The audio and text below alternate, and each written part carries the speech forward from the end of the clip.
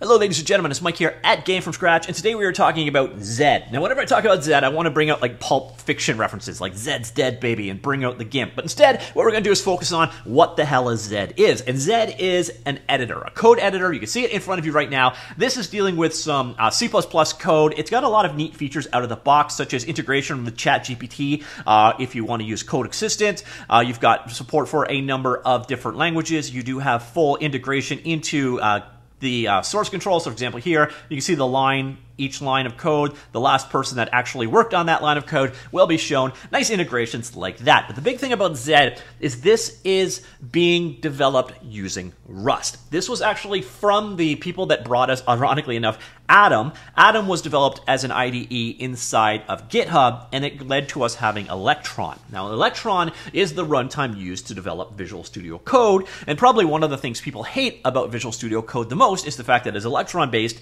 and the performance costs of that. Well, Zed kind of gets around a lot of that. I'm going to go ahead and show you an example. So here I'm going to go bring up the palette, um, Command Shift P, uh, and then what I'm going to do is go in, let's look at the themes. So here I'm going to bring up the toggle theme selector. I'm going to switch between themes. So you're going to get an idea of the performance of Zed. So here we go. New themes. So yeah, yeah, it's uh, it's a fast it's a fast IDE.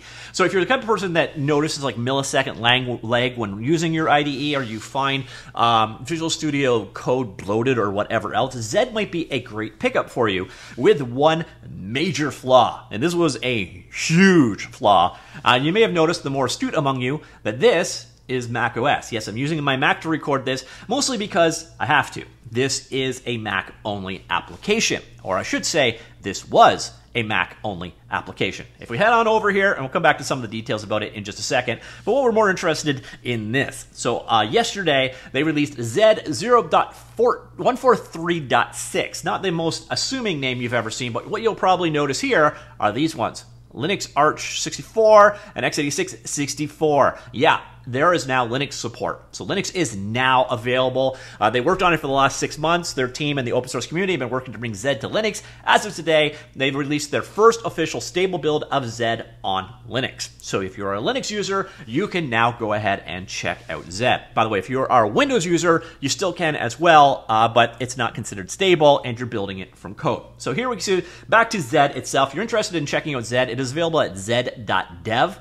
Uh, again, the whole idea high performance, uh, multiplayer code editor from the creators of Atom and Tree Sitter. It is also open source. Uh, so big thing here again is performance. So uh, difference in speed, it's like almost twice as fast as Visual Studio Code, for example. It does have a Copilot integration, so you can use ChatGPT 4 to refactor code, etc., built directly inside of the editor. It is language aware, so full syntax tree for every buffer as you um, as you type, a number of different languages available, code navigation, diagnostics, and refactoring. It has an integrated terminal. It does have theming support, as we saw uh, as a demonstration there. If you are a Vim person, Vim is there as well. Uh, it has, again, multiple developers working together on the same project. Uh, there, a virtual office for software teams. So again, if you're doing collaborative coding, could be a good pickup in that regard. Uh, and then you can also connect to other people's remote work, navigate together.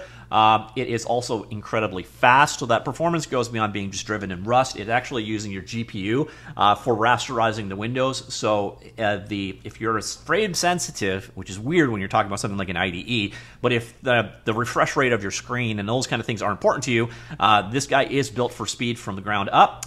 Uh, so built for multiple cores, uh, extensively fuzz tested for stability.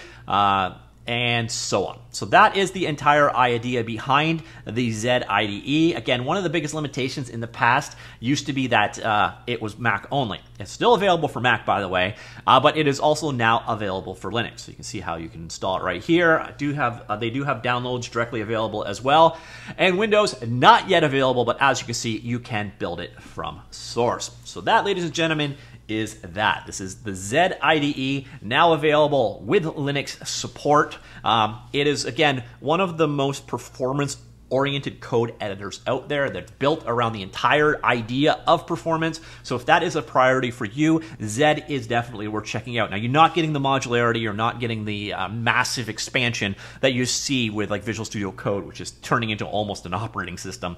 This is more focused and streamlined in what it does, and if it doesn't do what you want, it's probably not the right editor for you. But if you're looking for something that's fast, uh, it definitely could be. I know a lot of people very much like Zed uh, and have been limited because it's been Mac only, but now it is on Linux, and you can check it out on Windows if you build it from code. Uh, so more people can definitely check Zed out. Have you checked out Zed? What did you think of it? Let me know. Comments down below. Talk to you all later. Goodbye.